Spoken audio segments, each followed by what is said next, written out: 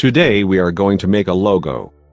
It will show you how to work on any drawing and how to convert it to a vector.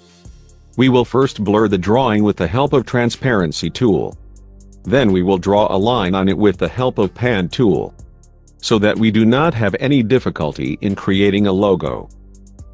Create a line around the drawing using the pen tool. And we will do it in a very good way to get the job done. So that we get the desired shape of the logo that we want. These are the only tools used to create such a logo. Therefore, they should practice as much as they can. If you want to practice anything new. So this video will be very useful for you. After completing the line, we will take the shape tool.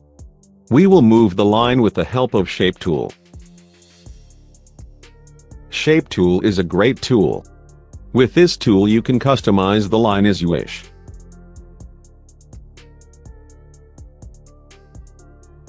You can see how we can customize the line with the shape tool. This tool is very useful for working on drawings.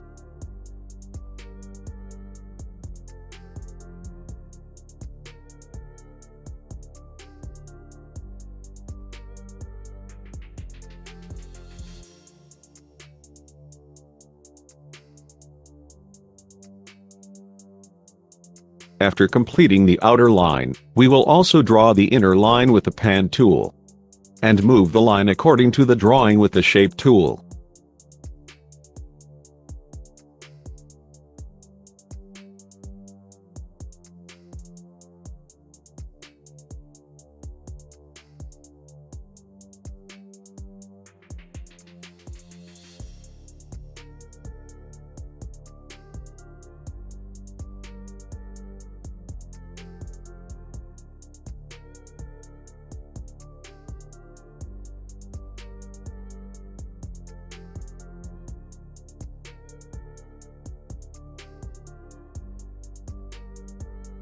Now we will color it.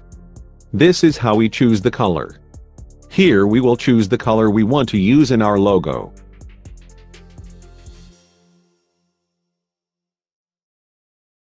The part of the logo that we have created. We will copy it and change its direction. The two parts will be joined together so that they become one part.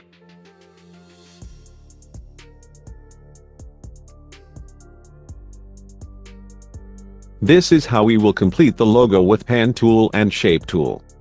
You can see that the logo can be created very easily in this way.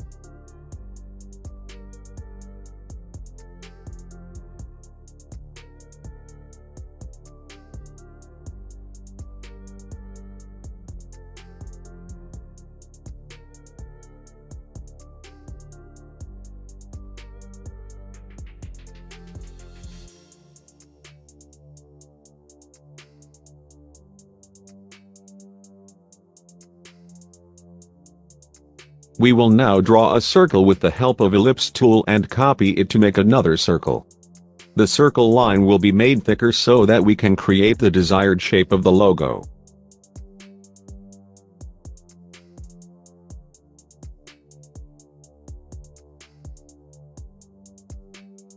Now we will combine the two circles and go here and convert them into objects.